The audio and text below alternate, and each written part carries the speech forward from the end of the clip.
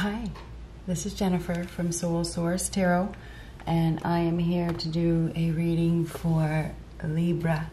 This is for Libra, Sun, Moon, Rising, and Venus, and this is for the week of September 25th through October 2nd. Now, keep in mind the timing is fluid. If you are watching this reading beforehand, I have done one for this week as well, and I'll tag it to the end. Uh, so what do we have for Libra? Happy birthday for those of you that are having a birthday this week. What do we have for Libra?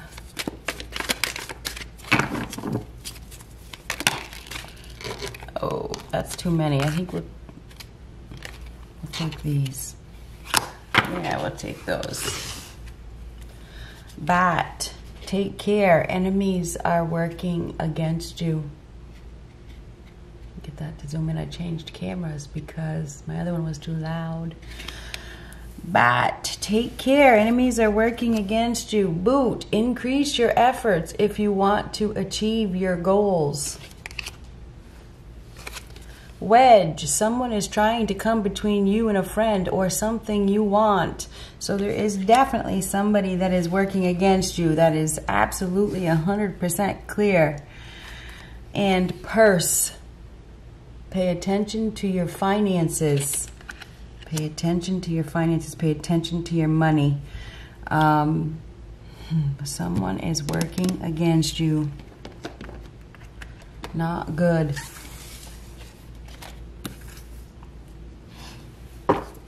You're going to have to increase your efforts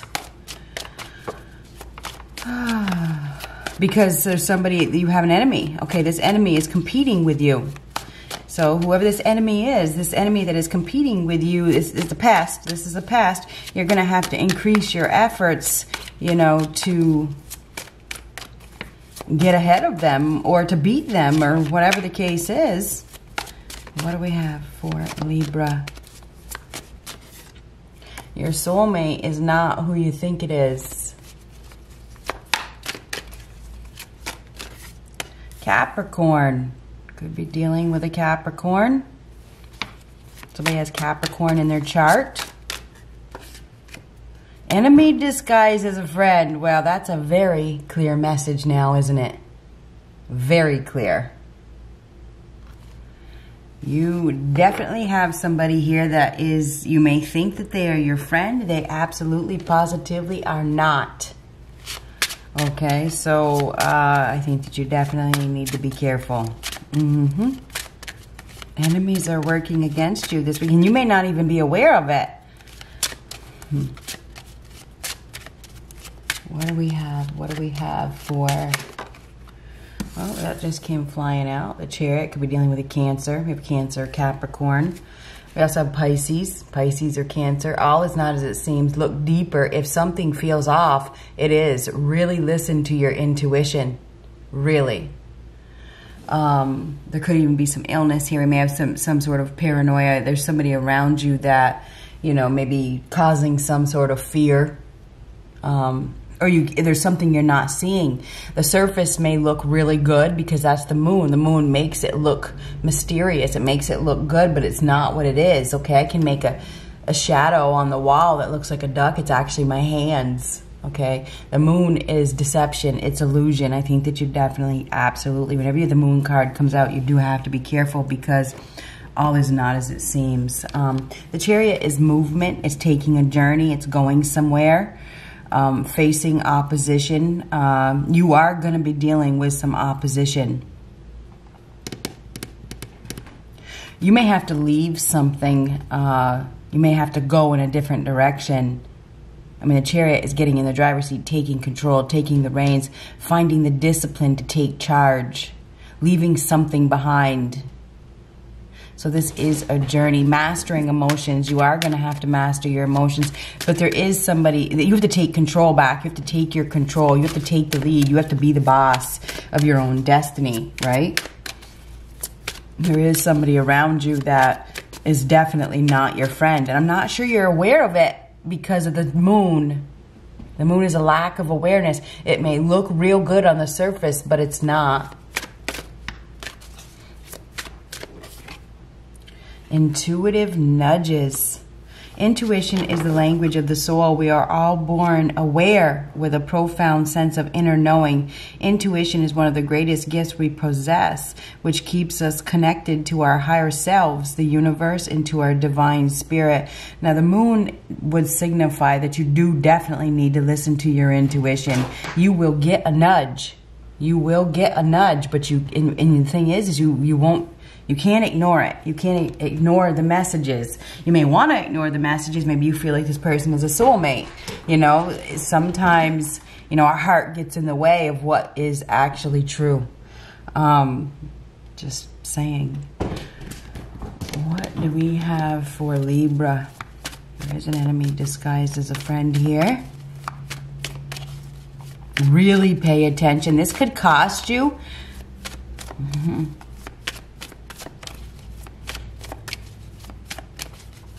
What do we have for Libra? Playfulness to recapture romance. Allow your inner youthful spirit of fun to shine. Hmm, let's get one more. What do we have for Libra? Wedding. Wedding. This situation involves marriage, commitment I don't know if you're dealing with some, I don't know, if you're dealing with somebody that is married or you're, some of you may be married to this person, could be a Capricorn or somebody that's Capricorn, Cancer, or Pisces in their energy. Something could be leading to marriage. I mean, the chariot is, you know, a journey. It's going somewhere. Somebody could be leaving a marriage or a contract Some of you may be in a situation where somebody's trying to mess up your contract or your marriage.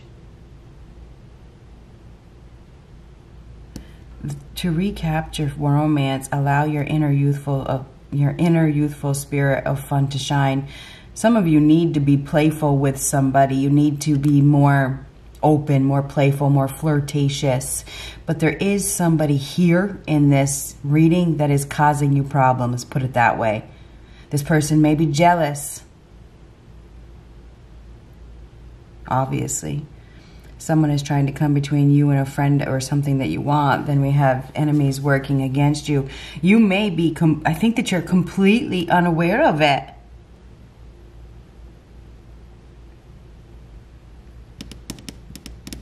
Some of you may have another soulmate that you're unaware of. It's interesting because your soulmate is not who you think it is. Then we have intuitive nudges down here. Somebody is being intuitively guided. I mean, that's travel. Go.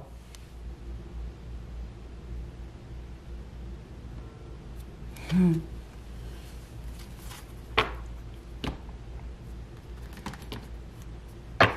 There's definitely going to be some somebody may be going somewhere. They may be traveling somewhere, going somewhere this week. Oh, what do we have for Libra?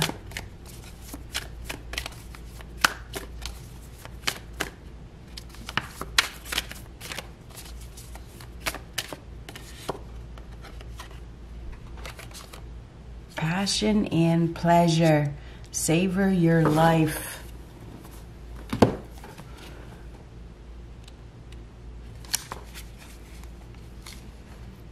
Find joy in the moment no matter what is occurring in your life. If you simply focus on what is splendid, wonderful, and pleasurable in the moment, everything improves. Live deliciously, love often, and live fully. Cherish your friendships. Fill your life with the people, experiences, and places that give you delight and joy. Let go of those people and things that don't appreciate or empower you. Give yourself permission to be happy. I think that this is probably a week where you need to have fun. I feel like for some of you, you need to leave behind somebody because this is leaving something behind that is really not your friend. This person is not your friend. I'm, I'm going to tell you something. There's an unrequited love situation here that I wasn't going to bring up, but I, I really have to. There's not enough attraction or chemistry to keep this relationship going. So you got it's like you're you have an opportunity here to be happy, maybe even, you know, connect with somebody on a very deep level that could be a long-term situation. But it's like, and, and we do have in, increase your efforts if you want to achieve your goal. Maybe you have to be open to connecting with somebody. Be more open-minded.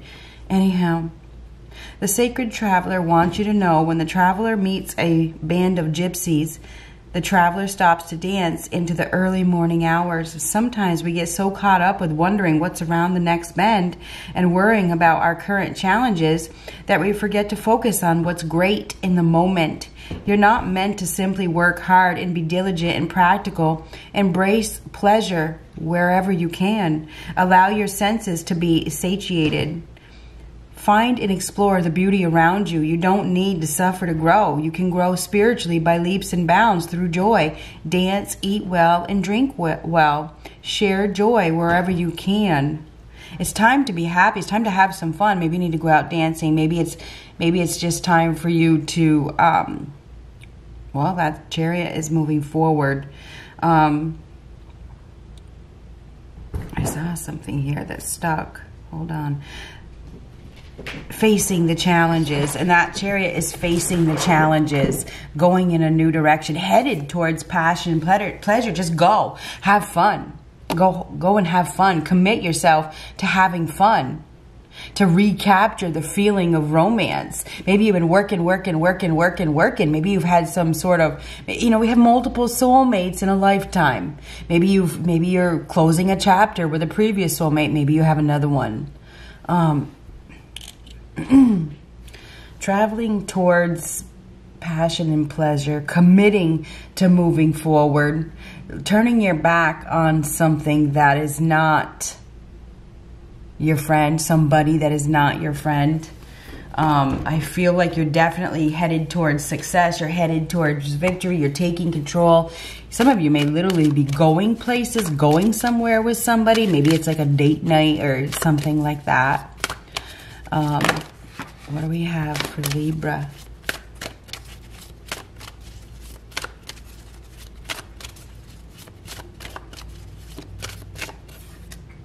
illusion. Ah, there is some sort of illusion here, and I could see that with the moon card. The moon is illusion. It is. It's, it's, deception. It's it's not real. Okay, what you see is not what you get. I feel like you, and you know, somebody has been in a state of illusion. Divine awakening. I just opened up to divine consciousness. Interesting. You're waking up. Maybe you're waking up from some sort of illusion. That's weird how I went to that one. Appearances are not what they seem. You need more information. There are no dead ends in a labyrinth. It appears as if you are continuous, continuously going around in a circle. Labyrinths are temples that insist on, on, on uncovering the truth, bringing enlightenment of spirit and consciousness from a distorted reality one is never truly lost within it. Within the labyrinth, we find our own internal compass to lead us in the right direction. And you are going to be going in I feel like you're going in a new direction.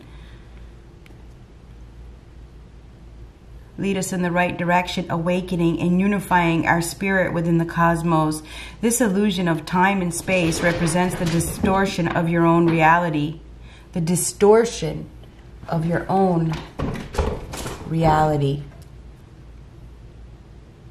The labyrinth is an, is an exercise in your soul's development. This illumination of self pushes towards individual experience so that you can make informed decisions. Although it may feel like your senses are misleading you, deep down you know the outcome as you have already been here before. Deep down you do. Deep down you know the outcome. I know that you do. Illusions can fool and mislead you into believing a situation is ideal or a person is genuine in their interest or affection, when in fact, it's the opposite. People can present themselves as helpful but have a secret agenda. Be careful now in your approach to others. The way forward is blurred with smiling assassins. Don't believe everything you hear or see right now. Stay alert. Caution is required for you to see through the smoke and mirrors. Without you seeing the full picture, an error in judgment is likely to occur. The key here is to see through the illusion of glamour and helpfulness to what is going on behind the situation. False ideas and beliefs, false ideas and beliefs are currently influencing you. I can't make that shit up. Researching your ideas or pursuits further will give you clarity and deeper insight prior to any decision making. Distractions are everywhere right now. Your soul's compass is asking you to reassess your direction, to uncover your true path. Does the this action or decision bring you closer to your life's purpose? There's some sort of illusion here. There is. And I feel like deep down, you know the outcome. But the illusion, the mystery, the feeling of it, the belief, the, the, the, if you think about the moon, the moon is fantasy. It's what everybody wants to live in that fantasy. To live in that grand illusion. There's some sort of situation that is unfolding that is gonna, I feel like, wake you up. This is some sort of awakening. Somebody may be trying to play with you. This is a playfulness, you know? They're playing with you. I feel like you need to be very careful with this player. That is something you're going to be dealing with right now. You need to come out of the illusion. You need to find your inner strength. You do. You need to find your discipline to turn your back on it, you know? There's an opportunity, obviously, for a commitment here. And I feel like there's somebody that may want to, I don't know, if they just want to have fun with you. Maybe fun, but is it long term? Is it an, is it an illusion? Is it something you want to get involved with? Especially if it, I wanted to say, if it's going to set you back. Some of you may be already married, you know? And there's somebody around you that is, or there's somebody here that may be married, you know, and you need to be careful. Whenever the moon or illusion comes out, and we and I just read the card, you need to be careful.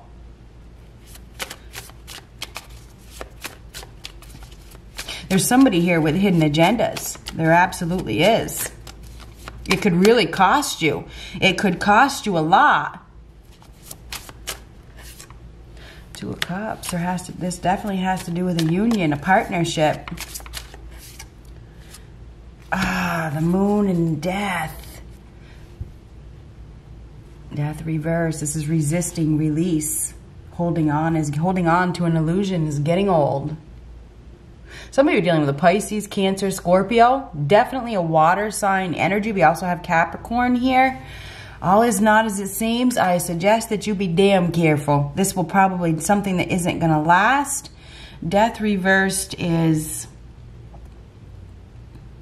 what can be like a near death experience or a need to release, a need to let go, but resisting it, resisting it, resisting it. You know, it's like time's up, but I will not release it. I will not let it go. There's some sort of addictions here. Could even be obsession with the moon card. Something is coming back around. May you may have thought it was over. It's not over. This is a playfulness. Somebody wants to play. I suggest that you be careful and continue moving forward. You can, you, the choice is always yours, okay? The choice is always yours. This is an opportunity for passion and pleasure.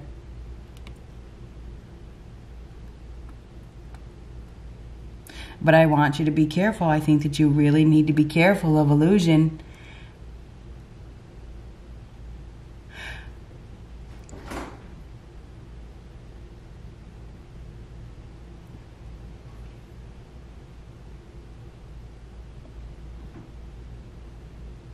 For some of you, there is somebody, if you're single, there is somebody coming towards you. This is a very passionate energy. It's mysterious. It's alluring. You will be drawn to it for sure. But I think that you need to make sure that you are looking deeper, look really deep. Is this person already connected? Are they already married? You know, are you already married? You know, be very careful with your choices this week because I feel like it could cost you.